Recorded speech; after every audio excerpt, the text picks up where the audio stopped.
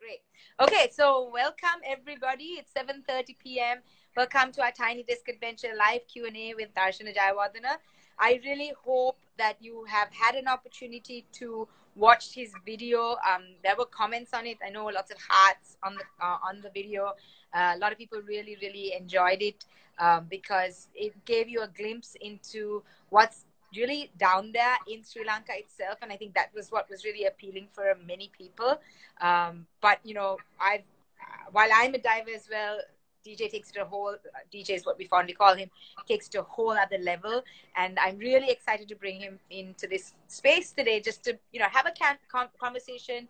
Uh, you can see a little bit about what drives him, but you know, just so you guys can get a little up close and personal.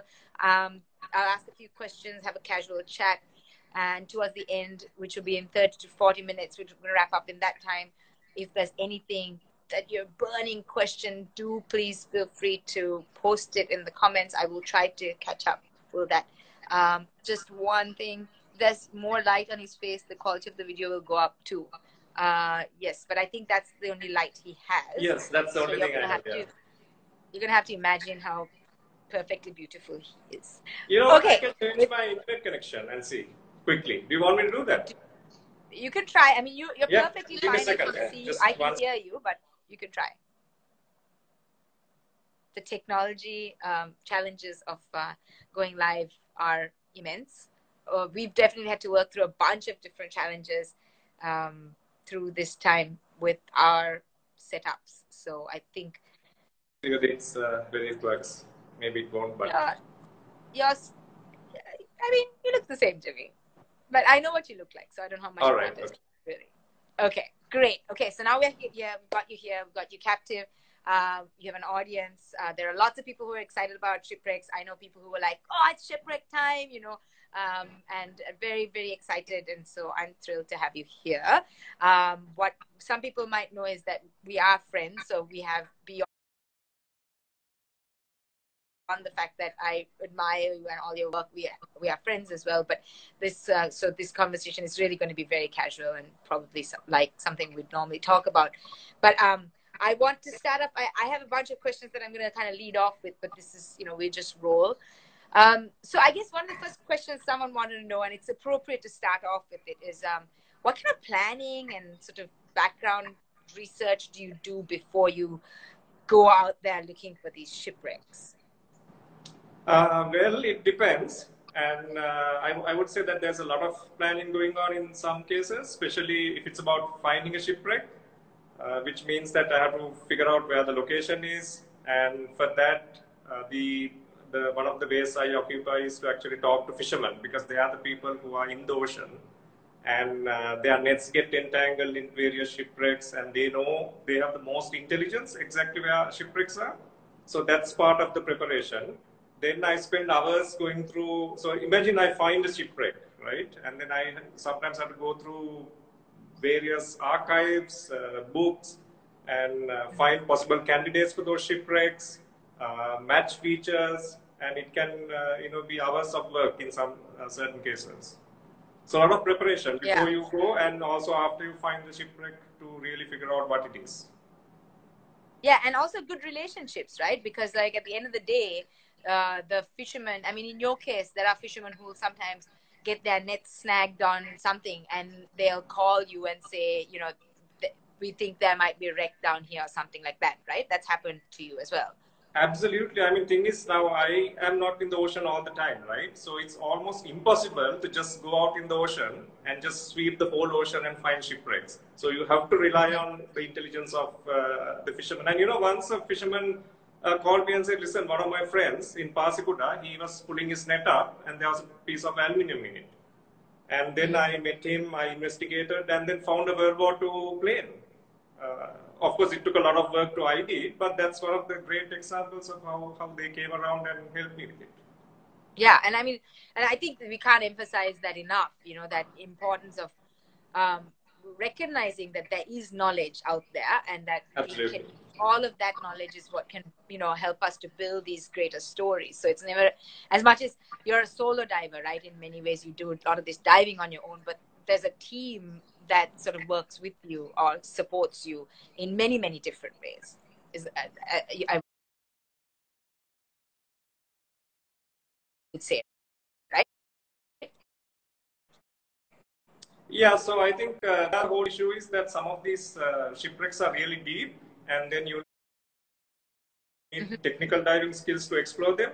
So one of the problems I have is that uh, there are not many technical divers. I would say just a handful. Uh, mm-hmm. So so that's one part. On the other hand, I kind of prefer to dive alone because then it's just me and uh, I can mm-hmm. really focus on the task at hand. I think you know, right? You always complain that I'm an awful buddy and uh, yeah. I keep disappearing. But it's actually you guys who keep disappearing on me most of the time. Right. Okay. Yeah. So, so uh, what I should probably clarify to the audience at this point, one second, is that typically with diving, and if you're not a diver, if you're not familiar, you always dive with a buddy, right? So you always dive and you dive together with someone else, and the whole dive you're together because there's a safety element to that.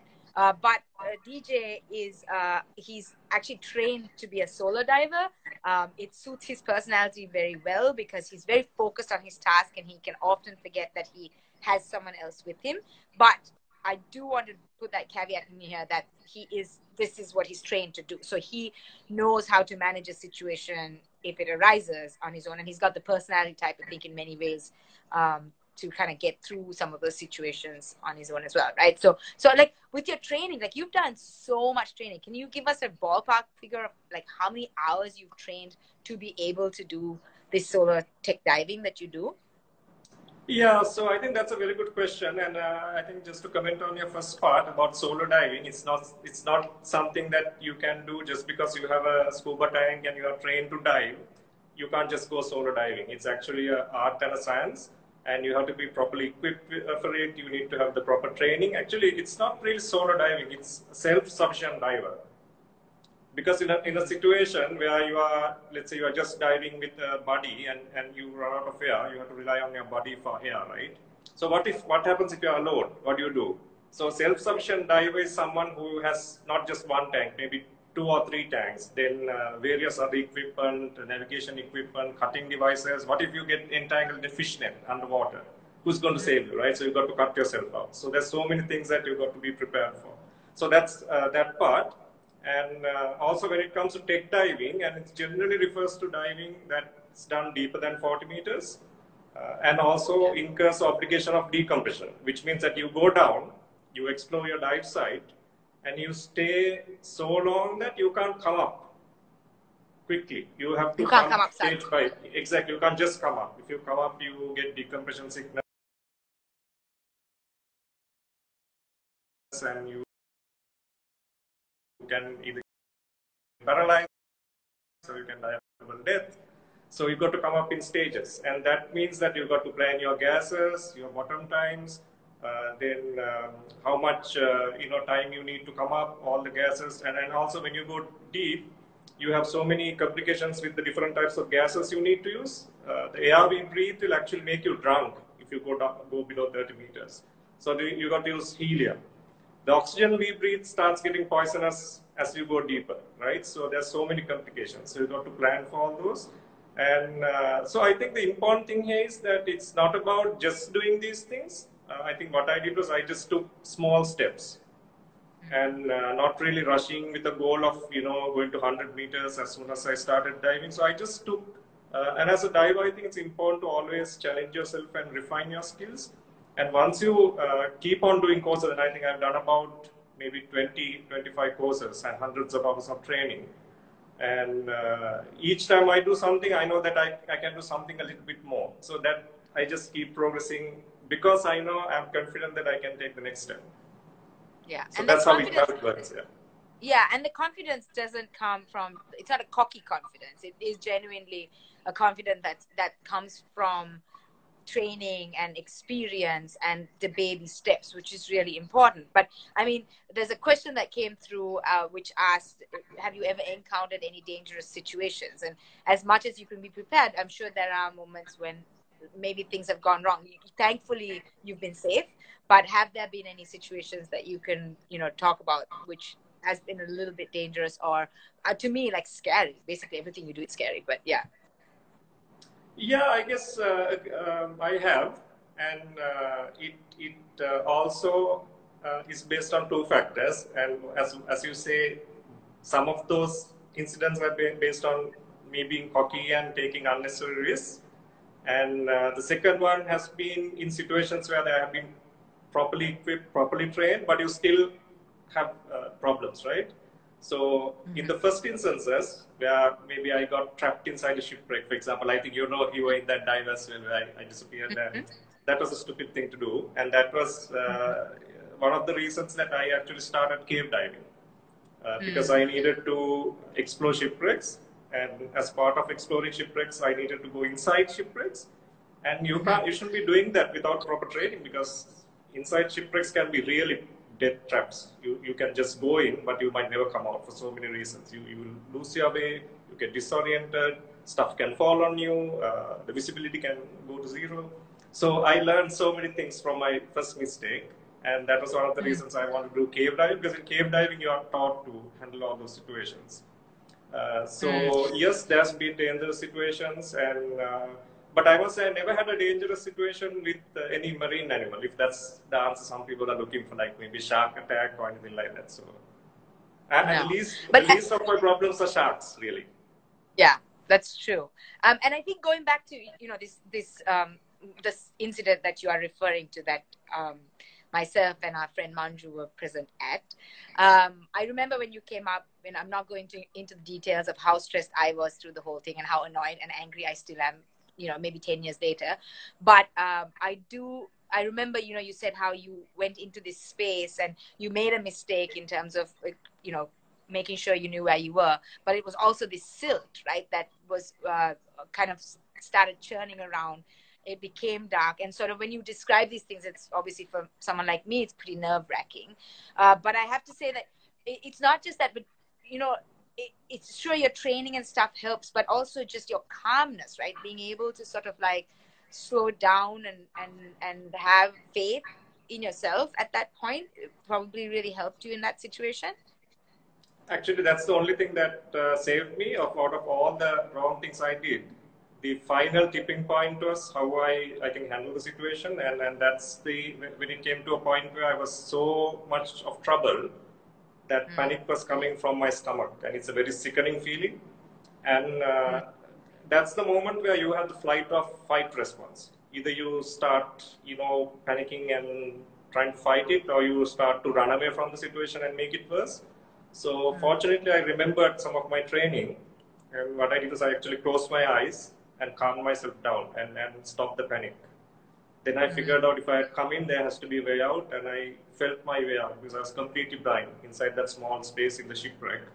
And uh, I managed to find a, a small uh, wall, went uh, into a place, but again, there was nowhere to go. There was a small hole, so I managed to remove my all my equipment, put it out, and then escape. So mm-hmm. it was part luck, part training. Also, part knowing that myself and, and part knowing that myself and sorry it was not Manju Naren but uh, on that dive waiting on that train, um, to uh, to ask you questions around it. Um, okay, so there's been some other questions. Uh, one question that went past was uh, is diving healthy? So I'm going to ask you that in conjunction with. Uh, uh, I mean, yeah, is diving healthy? I mean, I don't. That's a pretty open question, but I, it's good for you, right? It's an exercise. It's a sport, mental exercise, perhaps. Um, I think diving is like every other sport in a certain sense. Uh, what you need is actually you need to be healthy to dive. Mm. Diving doesn't necessarily make you healthy, but for your safety and for your well-being, you need to be physically fit to dive uh, because it can impose so much stress. The cold of the water, fighting currents, you have to have good cardiovascular, you know, uh, fitness, and uh, but diving, if you if you're looking for the other meaning, if, if whether diving can cause you harm, uh, so far as far as I know, there is no significant scientific evidence that diving does cause any uh, harm. However, if you, for example, dive while you are dehydrated, and if you take, um, uh, if you ascend fast to the surface, you can build uh, micro bubbles in your bloodstream, and and that can have some uh, impairment in your in your physiology. Uh, in your tissue, mm-hmm. you can have tissue damage and you can have bone necrosis because the nitrogen bubbles can actually destroy. But if you if you are a safe diver, and you are a healthy diver, it's, it is no damage as far as I know. Okay, and and that's a, and that's a good good message. I think. I also think it's. Uh, I like that you uh, you corrected us. It's not that uh, diving is not necessarily healthy, but you have to be healthy for diving. And and to all of you who follow our Tiny Desk Adventures, you know, on our website, not only do we post the videos, but we also have a little guest q&a we ask our guests a set of 10 questions so you can get to know them better. And one of the things you know one of the questions is what's the first thing you do um, when you wake up in the morning and dj works out? Uh, so he um, typically will walk an enormous number of kilometers in a very limited space in circles um, which we're still trying to come to terms with but it's cool. Like he might walk, walk six kilometers in a what's the loop on your rooftop it's about, uh, I think, about uh, 50 meters around. Okay, so 50 meters, he does about six kilometers. He does push ups, he does squats, he does a lot of, uh, you know, physical work. Um, and it is important to stay healthy because, you know, you kind of have to be fit. And in relation to what you said, DJ, in terms of, um, you know, you can get, you know, you're fighting the current and stuff. Someone has asked, have you ever got carried away by the current or zipped away by a current? Like, is there something you can say about that? Yeah, there have been a couple of incidents. I, I, think the most memorable incident was when I was diving HMS Hermes, and that's uh, World War II. Well, you know, I don't know whether you guys know, but we Sri Lanka has an aircraft carrier, but it's at the bottom of the ocean. It's uh, one of the deepest wrecks in Sri Lanka. Uh, I would say the fourth deepest wreck. And to dive that, you need to have technical diving skills. And I was di- diving this once again. I was diving it solo, and uh, I came up and then started drifting because the current was uh, so strong and I had to, I had about one hour of decompression. So I drifted for about five kilometers. During that one hour, I had to stay underwater, coming up slowly. And uh, yes, so that's the experience where I got caught to current. However, it turned out to be a remarkable experience because when I was at my one of my last stops at six meters, I saw this silvery shape from the corner of my eye, and I, I was I actually got frightened. I, will be honest. I thought it was a large shark, and my heart skipped a beat. But when I looked at it, it was a whale. And it was so strange because this whale was really looking at me. It was almost as if it was concerned for me and it was looking at me. And uh, then I did a very stupid mistake. I forgot that I was in trouble and I started uh, swimming towards the whale. Yeah, and that spooked the animal, obviously. So it uh, took a breath and then went back into the deep ocean. Then I think I showed you the video and you identified it as a, a Bryde's whale. Is that how it's called? Yeah. Brides are Brutus, yeah. Brides, Brutus. Yeah. yeah, so it's pretty spectacular. But that's true, right? Like, I think one of the things is with diving, you have to be very conscious of what you're doing at all times, right? So you, it's easy to get carried away, not just by currents, but just by when you're down at the bottom, you see something amazing, you're taking a photograph, you're so focused on that that you can lose track of time and lose track of you know, uh, you know, the sense of how much air you have or anything like that. And I think being completely, uh, always being engaged and very focused and stuff really helps in those situations, right? Yeah. Um, so there was another question. Do you do all your training or courses? Have you done them all in Sri Lanka? Yeah. So uh, one of the limitations of uh, when it comes to technical diving is that Sri Lanka doesn't have many schools. Now there are there's about one school that starts doing uh, technical diving, but I started my tech courses about uh, more than 10 years ago and gradually uh, did that. So my instructor was in Thailand. That's where I did most of my cave diving, deep diving, rebreather diving. Uh, so I, I, actually worked with one instructor all along and he was my guru and taught me everything uh, there has to be to learn in this uh, tech diving sport. But in Sri Lanka now, slowly there's more interest in tech diving, and schools mm. are coming up. But at least there's one school uh, in particular that's actually specializing in diving the Hermes. Right, and uh, and uh, so there's a question around your cave diving. So let's introduce introduce that first. You know, um, how did you discover this that you could dive in the caves in in Ella? Yeah, so again, uh, I think it was all started with shipwrecks. As I said, I wanted to explore shipwrecks more. I had to go inside. So I had actually no intention of diving caves. I'll really be honest. I didn't like caves. You know, it looked cold, do, uh, dark, and gloomy. I didn't want to really go there. What's there? It's nothing, right? So, but for me to explore shipwrecks, I needed to, I needed to get the training that enabled me to safely swim in an enclosed space. So the problem Mm. of going in a shipwreck or a cave is that if something happens, there is no direct ascent to the surface. You have to Mm. come out the same way you go in, and that can be really tricky. Because when you turn back and, and if you're in a rush and you try to come out, you might not find your way or you might not see where you are going, right? So it's very, very dangerous uh, in that aspect. So you need to have the proper gear and training. So I thought, okay, let me explore shipwreck safely, you know, without making the stupid mistakes I used to make. So I started cave diving as a, a way of uh, learning those techniques. And uh, I must say the first experience going in a cave was quite, uh, uh, it was very bad. It, it, uh, I, I, almost gave up because it was so frightening and I was very uncomfortable. It was so claustrophobic. But again, I calmed myself down and it was almost as if the switch went off, or switch went on. And suddenly I was this completely unemotional human being uh, navigating through the caves. And then it started becoming a, something exciting. It became, mm. it became, started becoming something that gives you an adrenaline rush because you have to crawl through tight spaces. It's dark, and then you need to do so many exercises to uh, to you know to drills, and, and and and once you do that, you get so much confidence, and you feel so good about doing something that's really challenging. Uh, suddenly, I realized that caves were a fun thing to do, and and that's how I started cave diving in in Thailand. So I explored a lot of caves in Thailand. And when I came back, the first question I asked was, uh, hang on, you know, I'm in Sri Lanka. Where are the caves in Sri Lanka where I can dive?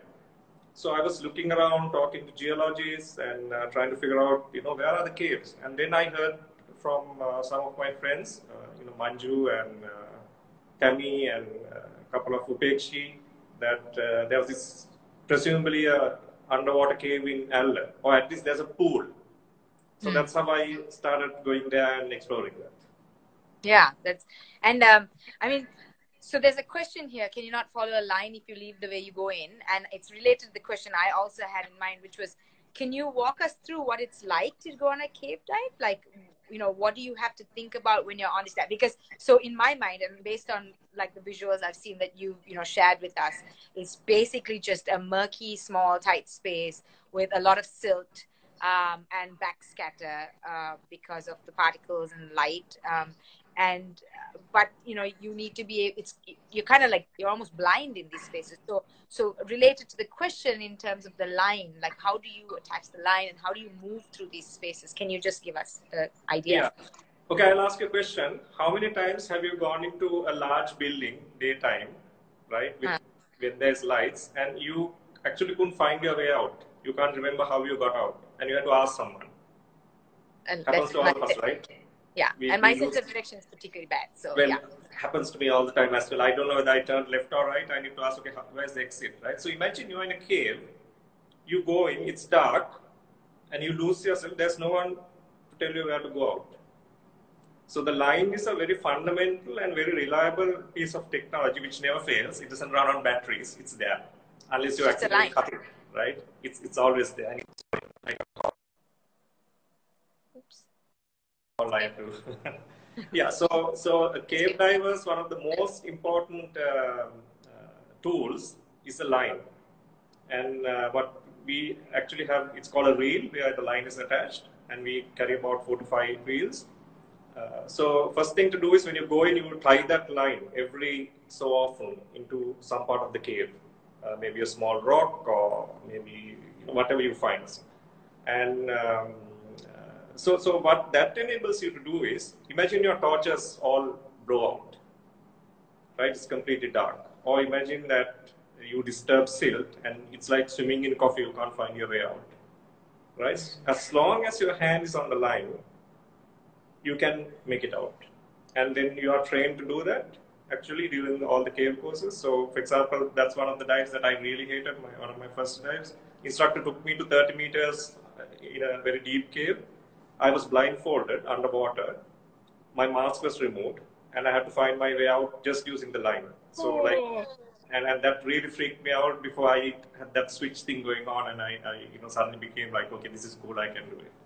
So you got to have that type of training and uh, mindset because, uh, and it's happened to me in uh, the dives subsequently. I did my torch went off or the silt was so bad, you really can't see where you are. And if you don't have the line, there's no way you, you can come out. So it's very important line. Yeah, and, and just to point out to people, you know, when DJ says diving in a cave and you can't go straight up, it's it's if you don't really know, if you're not familiar what it looks like, it's usually just, you know, from up here you have a like a, a tube that goes through Yeah. uh, underwater, and so you're following the tube. So so if you like run out of air or if something goes wrong here, you can't come up because there's a ceiling. Uh, you have to come back up the same path, the same narrow path, and so that's something that you, you know, it's very different to like the other diving that people will do, and and it does take a lot of thought and a lot of training, and and you know, like you say, DJ, sometimes, uh, sometimes the um, the lowest tech, the lowest technology tools are the most valuable because you they're unfailing in these situations. Um, someone had asked if you've ever seen bioluminescent algae when you were in the caves, by any chance. No, not really. I mean, um so some of the caves I dived have been in very deep places. Even if you take the cave in uh, Sri Lanka, it's actually 80 meters underground. So you got to crawl through 80 meters of rock before you come to this underground underground pool, and then I start the dive. Okay. So when I start the dive, I'm already 80 meters underwater, which means there's no sunlight at all, right? So it's very, it's almost like a, I would say like a cocoon, like a time capsule where this body of water has been preserved untouched for such a long time. And by the time you come down to 80 meters, there's no life anyway. Once uh, I've observed like small worms swimming on the surface of the lake, but underwater I have not seen any life. In some of the other caves, I have seen maybe like small shrimp, catfish, but it's all at the surface, but nothing bioluminescent at, at all in the caves. Okay, and uh, so there's another question about how many uh, how many shipwrecks have you encountered around Sri Lanka, and how often do you get to explore them? Uh, there are so many shipwrecks uh, because uh, my uh, one of my sayings is where there are ships, there are wrecks, and uh, they sink all the time, right? And there are thousands and thousands of ships around Sri Lanka. Historically, there is about maybe 200 to 300 shipwrecks, but the problem is they are in very deep waters. And uh, so far, I know about maybe 100 wrecks that you can actually dive around Sri Lanka and um, it's um, you you you can always find a new shipwreck so it's a matter of time but it's kind of something that you get to hear through fishermen you got to explore and then find out but uh, there, there are lots There are lots. So I think the global estimate is there's about two million shipwrecks in our littering our oceans. I think it was some number like that. Um, so you know, if there are ships, like you say, if there are ships, there'll be shipwrecks. There are definitely ships in our oceans. Ninety percent of everything is shipped, so there are obviously going to be lots. Um, I, I'm just sort of curious about um, maybe. Can you tell us which your favorite is? I mean, I know the answer. Oh, how did you find the Worcestershire? Okay, what's your favorite wreck? okay good question and i will tell you uh, one of the reasons one of the biggest reasons i think there are shipwrecks have been world wars World War One and World War Two, and Sri Lanka in that way is quite significant because on the west coast of Sri Lanka, in Colombo, we have two World War One wrecks, and in the east coast, we have about five or six World War Two wrecks. Right, so it's quite incredible that the west coast World War One, east coast World War Two, and uh, so I would say one of my favorite wrecks. I think all wrecks are favorite. Uh, but uh, I would think what's special in my heart would be the Worcestershire and the Perseus, because that's two projects that I did lots of uh, effort, lots of research, a lot of diving to figure out what these wrecks were, and uh, found the bell and identified I did the wrecks. Okay, so that's great. That feeds into the two questions that have come in. One is uh, from Lucky or Naren, I'm not sure who, but uh, how did you find the Worcestershire? And then Jan asks, have you found any treasure? So I guess there's that what you just said sort of links those two. But can you tell us a little bit about how you found the Worcestershire, and then maybe talk us talk about the bell and any other treasure that you might have found? All right, so great questions. Um, so, you know, initially in my diving, uh, I would say adventure, I wasn't really interested in the history of wrecks. I just wanted to dive the wreck and be in a very deep place uh, with the fish. And uh, so I was looking for wrecks just to dive. I wasn't really interested about finding the history. It never occurred to me. So when I heard from in Dehiwala, the fishermen were talking about this very deep wreck called Bambavisi Hayanava, or the shipwreck at 26 fathoms.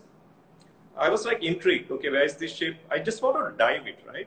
So I somehow took me about two years to make the contacts, find the fishermen, and they find this uh, location. And did a sonar scan and found the exact point. But fishermen knew where the wreck was because they were fishing there every night.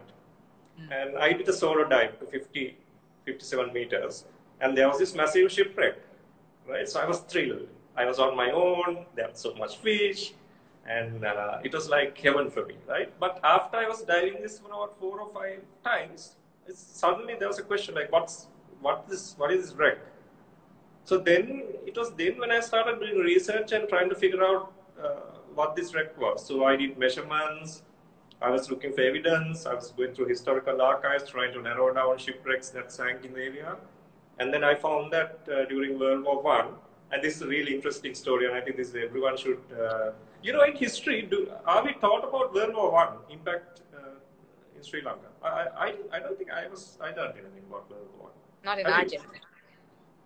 Yeah, exactly. So I was quite amazed to find that there was this uh, German commerce trader called the SMS Wolf, and it was a top secret mission during World War One. They disguised this warship to look like a normal commercial shipping uh, liner. And it was sneaking around the world for 15 months without calling the port, right? And it survived purely by capturing or sinking around 35, if I remember correct, 30 to 35 ships by stealing the coal and taking prisoners, all the food, all the, you know, materials like copper, everything. And it survived for 15 months. It came all the way from Germany, went to South Africa, Sri Lanka, New Zealand, Australia, and went all the way back successfully. Epic journey, uh, SMS Wolf. And when it passed Sri Lanka in 1917 during World War One, it laid sea mines of Mount Lavinia and also of uh, Modera. Right? And uh, these sea mines were the reason that the Worcestershire and the Perseus sank because uh, the Worcestershire, Worcestershire struck the sea mines on 17th of February 1917 and a few days later the Perseus struck the sea mines. Uh, so during this time it's very interesting because the British really didn't want to say publicly that there was a German raider going around. So they were very secretive about it and they were giving various excuses saying there were internal explosions, all that. But later they had to admit that there was this rogue uh, radar going all around the world and sinking ships. So these two are the World War One ships, only World War One ships in Sri Lanka that has been sunk by the Wolf and actually by anyone. So these are two World War One wrecks in Sri Lanka. That's cool. And what about treasures? Like you know, you know, there's the bell. I would think of that. Also, uh, also the famed uh, um, chamber pot that we have talked about yes, many times. Yes. It depends on what you consider treasure, but you know, can you talk a little bit about that and also just talk about the what you did with the bell, for example, because I think that's a really important part of the story as well. Yeah, so uh, I think the uh, very very important question. Um, so one of the reasons I take uh, material from shipwrecks is for purpose of identification and uh, documentation. So uh, to be honest, it's a wrong thing to do to take things out of a shipwreck. However, I also closely work with the Maritime Archaeological Unit and actually other government agencies. And uh, whatever I find, I hand it over to mm. the government. So again, there are two reasons for this. Ideally, I would like to actually leave some of the things that I find on the shipwreck. Uh, however, there are concerns that as diving gets more popular, shipwrecks are visited and uh, stuff is taken out from, from shipwrecks. So one of the reasons I actually collaborate with the Maritime Archaeology Unit is to, uh, to actually take some of these uh, artifacts that are there. They are not necessarily valuable. It's not like gold or silver or jewelry or anything. Uh, they may be like ceramic pots. They may be the ship's bell. However, they are valuable from a historical standpoint because that's mm. those are the only pieces of evidence that can point to the origin of the ship. Mm-hmm. So, for example, a plate might have the name of the ship's company or the ship's name. The bell will definitely have the ship's uh, name in it, right? So that's the only reason I actually look for it. And uh, everything I find, I have documented and handed over to the maritime archaeological unit, uh, archaeological unit. And also, it's uh, the, the, those findings are documented in my book, uh, Ghost of the Deep diving ships of shipwrecks of Sri Lanka. So it's it's I think the greatest pressure for me from a historical standpoint is the knowledge that we will not lose. It's it's we know now there's the Worcestershire, there's the Perseus and those other wrecks, and you know the history where it came from, what happened. And I think the greatest treasure I find is uh, artificial coral reefs. You know, beautiful places beneath the sea, and I, and I think I mean, you know, can you breathe gold? Can you eat silver? You can't, right? But imagine being in a really beautiful place. And, and, and in this day and age, these are the treasures that we are not having, right? We are living in cities, we are living in concrete jungles. You know, we go, we have to go travel hundreds of kilometers to visit maybe Yala or Wilpattu or go on vacation in a, in a beautiful place. But why? Right? So, so for me, the greatest treasure is a it's a natural place, and, and shipwrecks are really great artificial coral reefs, beautiful corals, beautiful fish, and for me, that's the greatest uh, greatest treasure. Yeah, that's true, and I obviously I totally, utterly agree with you on that. And also, I think the nice thing about diving. Um, even though we don't buddy together necessarily, I think there's a strong bond that's created in a community of divers because there is a lot of trust that goes into diving and diving with people, whether you're diving together or you know together or however i think um, i think it, it can drive same motion same time yeah. same motion same time but it can definitely i think it's such a it's an amazing sport for creating really deep friendships and i think we can appreciate that um, so referring back to your uh, points about you know how amazing these spaces are there was a question from navika who's our eight year old huge Oceanswell fan who asked what are the sea creatures you most commonly see when you go diving in these places? Are there any standout species that you can mention? Um, good and a complex question. It depends on the region, it depends on the ocean, it depends on the time and the day. And I think one of my, I would say the favorite types of fish life is actually schools of fish. I, for some reason, I really love big schools of fish because they, they are almost like one big animal, right? They move, they move in one. You know, that shoal turning around. It, it, brings so much energy to the reef. It's it's quite incredible. I love groupers. You know the big uh, fish. Yeah, they look quite uh, yeah, yeah, yeah, Big, big big fish, big groupers. Uh, I like sharks. Unfortunately, in Sri Lanka, you really can't see uh, many sharks. Whale sharks you may be able to see, and the whale shark is the largest fish in the in the world. But uh, in, um, I would say uh, in, in some countries, like for example the Maldives, it's really easy to see sharks because of the reef topography. Sri Lanka has a lot of sharks, but you don't see them during daytime because they are simply not in the areas we dive. And, and sometimes they shy away and they swim away when they hear divers. Uh, but uh, I'm, I like any types of fish, the small to the large. So if it's a whale shark, I'm really happy. But maybe it's a small, nice, colorful nudibranch, you know, like a small uh, sea slug. And that can be really interesting to just observe and uh, watch. Yeah. So I, I think Naren and I are bigger fans of nudibranchs. And for all, all of you are wondering what a nudibranch is, we did do an ocean creature feature on Oceanswell about nudibranchs, some really fun facts uh, about some nudibranchs that even feast on Portuguese man of war. So think about it, something 60 times their size. You can check it out on our website, uh, the Ocean Creature Feature Series. There's 10 parts to that. Um, so there was a question from Sachiko, which I think is a really great segue into um, sort of your life in general, is uh, who funds your expeditions? And perhaps this is a great time to reveal to everyone that why you have all this passion around diving, why you clearly sound like all you do is live, breathe, and you know sleep diving you actually have a day job right? So like do you want to talk a little bit about that and like how these expeditions you fund them or who funds them? Yeah good good question. So uh, the funding is actually partly self-funded and I also I make some money by writing articles selling photographs selling uh, videos and maybe uh, some self-funding yeah you know so it's it's it's uh, that plus it's it's also uh, especially when it comes to expeditions, it's uh, actually spending my own money which I earn in my day job, which I which which I will uh, get to later.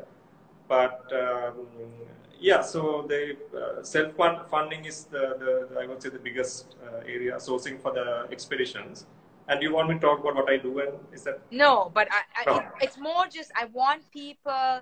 Um, I want people to understand that you know, you know, a lot of people think that if they're not doing the thing that they love, then they will not be able to ever do it. But I want people to understand that you can still do that stuff, uh, even if you have a regular job that maybe is necessary for uh, earning your income and keep and keeping yourself sustainable. There's still other ways to go about your passions, and I think that's really important to remember. That's something that you do, you know, which I don't fully understand because I live, breathe, and eat the thing I'm passionate about, right? So we live sort of different lives, although they uh, overlap, right?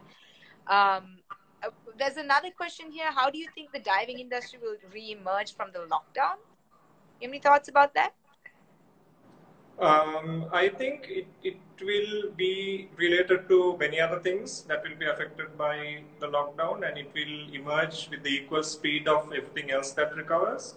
Again, it, it's a, it depends on which country it is, which region. Uh, for example, now I have a friend in Indonesia, she has a diving center. She's saying that they are planning to open up uh, in that uh, area, do some limited dives. So I think diving is also something that uh, maybe it doesn't really invite too much social distancing in its very nature of how it's done. Like in, if you're in a boat, you don't, I mean, we divers don't get comfortable big boats, right? You know how it is. We are crammed, equipment is all, all everywhere, and uh, sea can be rough, we'll be holding into each, onto each other. So social distancing is not very strong for, for diving. And uh, so, so that's why I think it will, uh, it will need it will also have the same impact, uh, which has in other industries and other areas where we need to maybe start in a very limited and a small scale and gradually build up. But it will go along with the same pace of the whole society recovering from uh, corona. Yeah, that's true. And um, I think it is important, you know, and the next question is really important, which is, uh, and it comes from Naren what are the most important aspects of being a responsible dive tourist? I think this is a really important question to address. Um, okay. Uh, this, uh, the, the, what are the most important aspects of being a responsible, responsible dive, dive tourist? Right. So I think one of the very basic uh, rules is um, um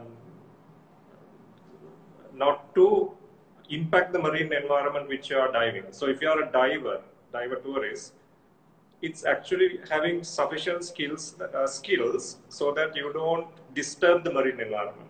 And for example, that means that you need to maintain your buoyancy. You're not crashing into the reef. Your fins are not touching the corals. You're not touching anything.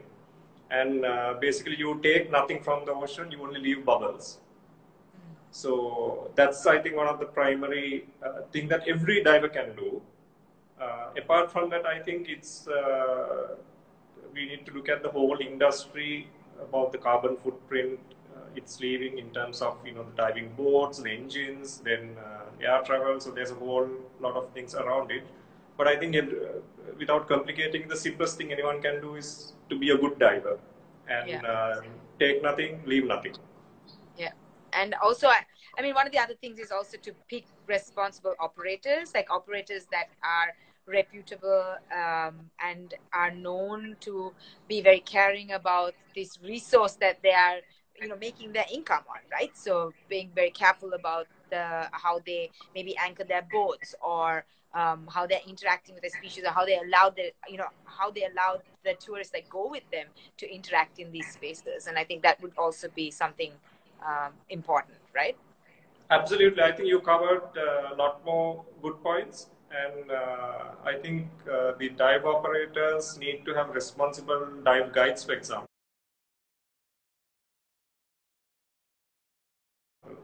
Who make sure that their customers don't really affect the environment in any way. And you know, we hear instances where some people they want to take photos and maybe the dive guide will take a nudibranch and it move it to a more nice background, right? So I think those are things that kind of cross the line uh, because I think if you are capturing something, we should capture it as it is.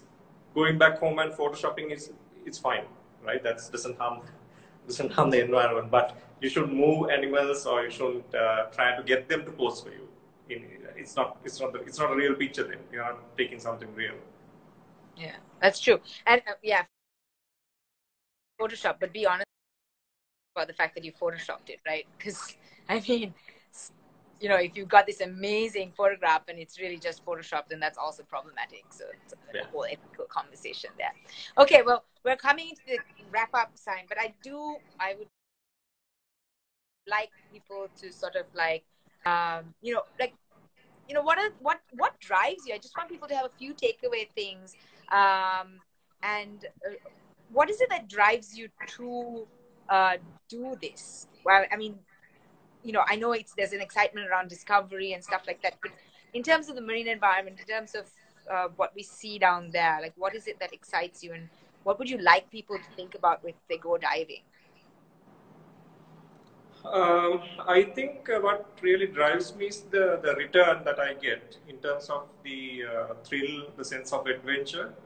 And I think as a kid, I always wanted to be an astronaut, and I wasn't, uh, you know, I wasn't bright enough to go to NASA. So I had to say the next best thing. Yes, I had to. I couldn't go up, so I go down. Right. So it's very easy, simple math.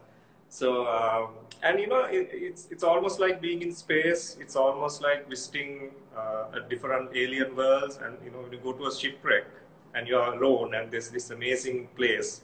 It's almost like you're the first. You're like Neil Armstrong stepping on the moon, and especially if it's an undiscovered shipwreck, right? So it's it's that feeling, that moment it's such a big uh, rush and a reward that uh, I, I, keep seeking it, finding new things. That's really cool. And uh, actually, this is a really great question. Uh, again, from Naren, uh, disguised as Lakwi. At what stage in your diving should you pick up? Pick up a camera. And I think that that's a really valuable question. Uh, you know, should you pick it up when you start diving, or what stage on your journey should you consider even starting to take those pictures and focusing on extra things? Uh, to be honest, I don't know the answer to that question. Really, I don't think there's an answer. I can talk about my experience.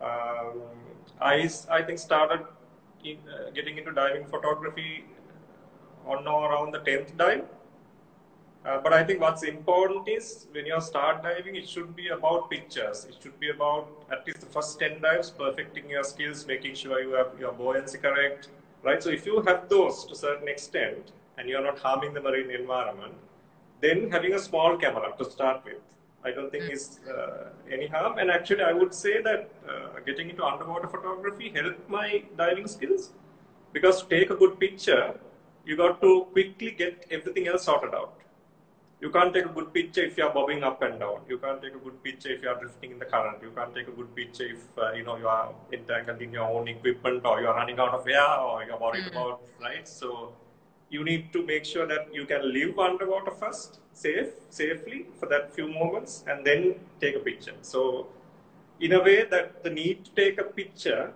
almost made me a good diver, so that I could handle a camera underwater made me a good diver. So it was kind of fed into each other. It's my own experience. Right. I don't read from that correct answer.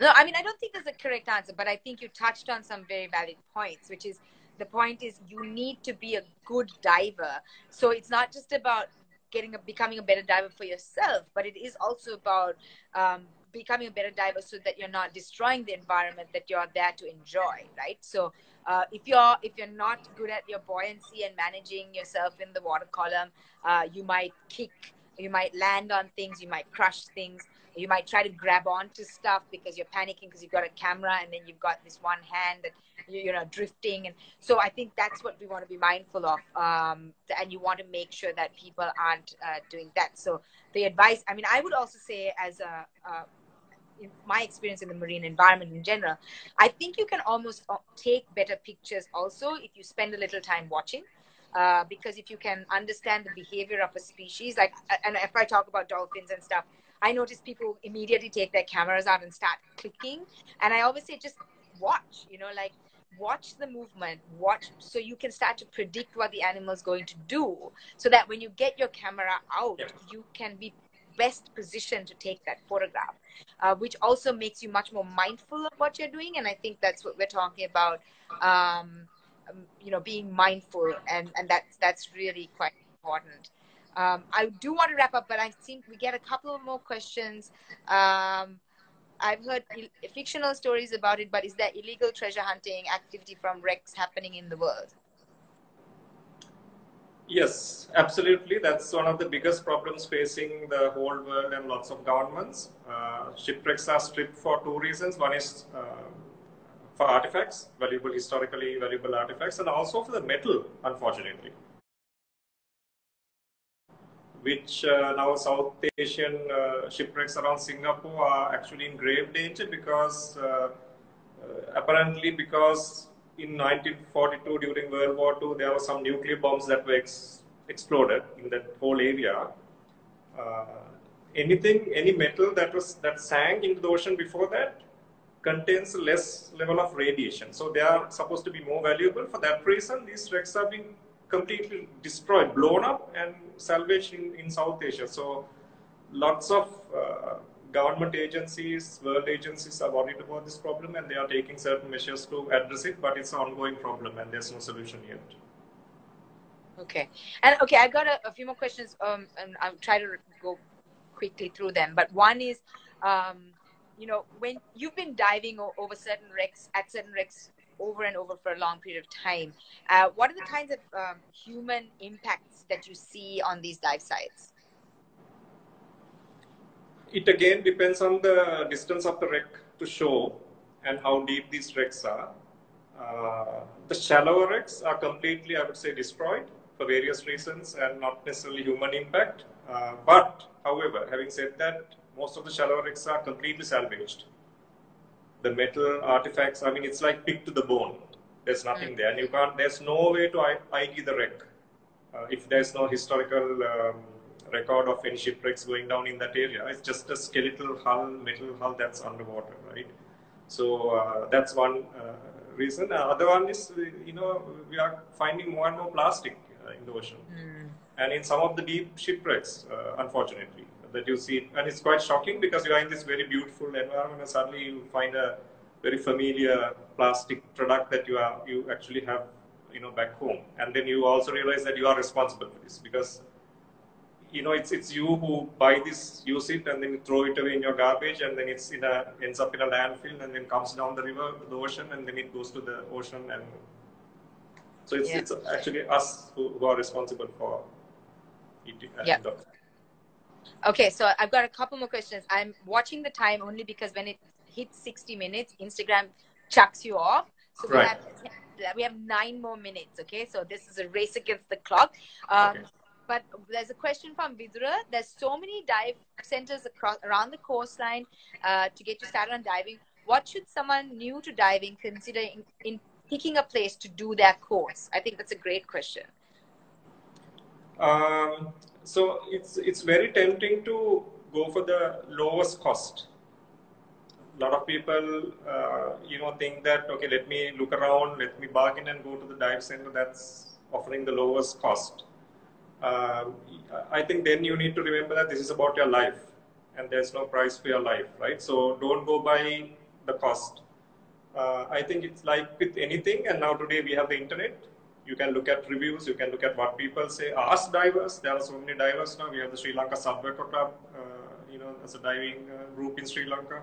So you can ask people who know about it and then get references and, and go to go to a place that people say, okay, it's a good school. Maybe it's a bit expensive, uh, but you know, it's worth it. Yeah, I totally agree. Okay, so I'm going to take just two more questions because we're going to get chucked out. Uh, Okay. This one is very important from Travis. Um, I, it would be great if you could address it. What do you feel about dive operators that promote spearfishing? Well, uh, very simply, it's against the law. So, I mean, I can't support it because it's against the law. It's against the law of Sri Lanka. Dynamite fishing, spear fishing, it's against the law. Uh, so it's not a good thing, and I think if any dive operator does that, and it, it is quite ironic that a dive operator would want to do that because you know you you you kind of make your money by showing people what's beautiful underwater, the beautiful fish, and the next thing you're taking someone else to shoot the same fish, you're showing another customer and making money out of, right? So uh, it doesn't really. I don't see it coexisting. So uh, uh for me, it's it's a big problem dive operators yeah. do that that sort of thing. Okay, I don't. I I um I think we might get kicked out in about two minutes. If we do, I'll log back in to say the final goodbye because I do want to make sure there's a goodbye. But I have one question, and I do want. Uh, you know, I don't think people realize that we have a really incredible wreck in Sri Lanka, um, the wreck at Godawaya. And can you tell people a little bit about it? Because it is a really important one historically as well. Yes, it's uh, the oldest shipwreck, or it's one of the oldest shipwrecks in uh, South Asia. It's uh, 200 BC, so it's about 2,200 years old, carbon dated, and uh, it makes, I think, it kind of puts icing on the. I mean, Sri Lanka is. I think the the strong point for Sri Lanka when it comes to diving is the shipwrecks. We have so many shipwrecks that most South Asian countries don't have. Singapore may have some shipwrecks, but you know, like Thailand, Malaysia, we, we actually can beat those countries. And then on top of this, we have the oldest shipwreck mm. uh, in, in South Asia. So it's a it's a active archaeological dig site, so you can't really dive it unless it's with, uh, without permission. And, and still a lot of things are being found out, but it's it's a time capsule. So it's it's an amazing place. I have dived it, and I think you have as well. Actually, yeah. we dived it together, right? So you know, you know, it's such an amazing place with so many artifacts, and it's it's like almost going back in time, two thousand two hundred years ago. Yeah, and it's a wooden ship, right? Which is also yeah. kind of a thing. Um, and the fact that I mean, wood uh, obviously it would normally deteriorate in air, but there's still some structure left because of the conditions of underwater, right? So, um, well done. Did so we get kicked out? Yeah, we got kicked out, but um, because it was exactly 60 minutes, because we got into the room a little bit early. Um, since we have a little bit of time, I want to say goodbye, but I do. Let me just go back and talk about Godawaya, like briefly. Can you just like talk, talk, maybe talk a little bit about sort of what kind of artifacts are found and what kind of a wreck uh, we're think, talking about it, you know, it's so old and it's different. We talked about the fact that it's wooden, which is obviously different. Uh, but can you give us a little more insight into the wreck and just kind of excite people? Because I want people to realize Sri Lanka is a pretty special place in so many ways, and so many ways we don't realize sometimes. Yeah, so I think the first thing I would like to tell uh, tell all of you is that we have a great agency that works, uh, you know, professional archaeologist, and, and I'm not a professional archaeologist, right? Uh, my strength is diving, technical diving, the technical side of it.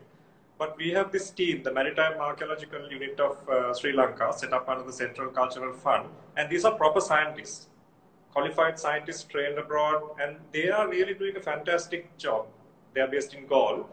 Uh, they are the ones who are actually very patiently, and, and it's such hard work. They have to actually dive a whole season to to to explore this shipwreck. And it, it's a small shipwreck. It's, it's it's a small area, right? But it's 30 meters deep, and sometimes the current are so strong. Sometimes they use like small brushes to you know unravel the sand and find inside. So what they've found so far, they've found um, like stone benches, uh, pot shards, big pot shards, and and uh, copper ingots, some of the things. So all of these actually um, help them to place what era this shipwreck could be. So there's this whole um, narrative about that these ships could be, you know, belonging belonging to certain certain time periods. However, it's not really clear whether this shipwreck actually came to the Godawaya port mm. because the Godawaya port was an ancient port, and there was actually a government tax office where the government, the king's tax office, right? So, uh, not really sure whether it was something to do with that, but or whether it's a ship that was passing by and sank, but uh, again, yeah, so I think we need to really recognize these guys uh, doing a lot of hard work, going all around Sri Lanka, documenting and uh, and preserving shipwrecks.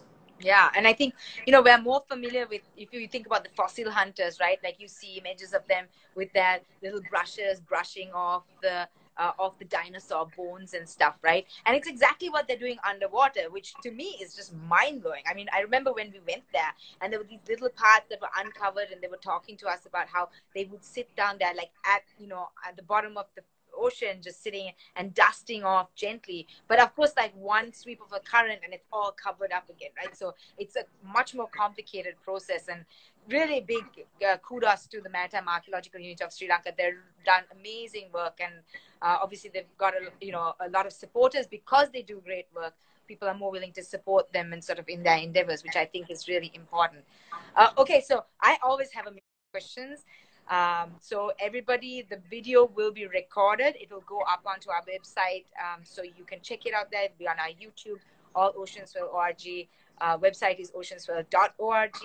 Um, you know, come back every Wednesday. We release a tiny desk adventure by, a tiny by a tiny desk adventurer who will talk about something they're passionate about. It's a less than five minute video, and then we'll have a host a live Q and A, so you can actually get to know these people, interact with them, ask your questions.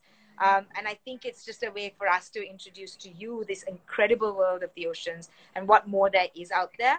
And just to wrap up with DJ, I just want to point out that he does have a book called Ghosts of the Deep. It's available at Vijitha Yapa and a lot of reputable bookstores.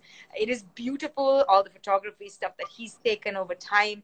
Um, it's got all his research, and you will really, I mean, if you don't appreciate it, I think you'll even more appreciate how much hard work he's gone through to try to spotlight Sri Lanka as uh, an incredible destination for diving in a very different way than we think about. We think about the Maldives and the reefs and the beautiful fish and stuff. We have a lot of that, but it's just artificial reefs in terms of these shipwrecks that we have to learn to grow to enjoy, but also protect because it is part of our cultural heritage and looking after it is really important. Um, and so do check out that book, go buy it, you know, support DJ's expeditions because as you can tell, man just supports himself and I think he could use your funds. So this is one way to channel your funds, but also own something in return. So with that's awesome. And with that, follow him at Tech Dive in Sri Lanka if you don't already. Keep following us at oceanswell.org and join us on this incredible adventure that we're on. Uh, thank you very much, DJ, once again. And um, thank you, Asha. Yeah, stay safe. Bye. Bye.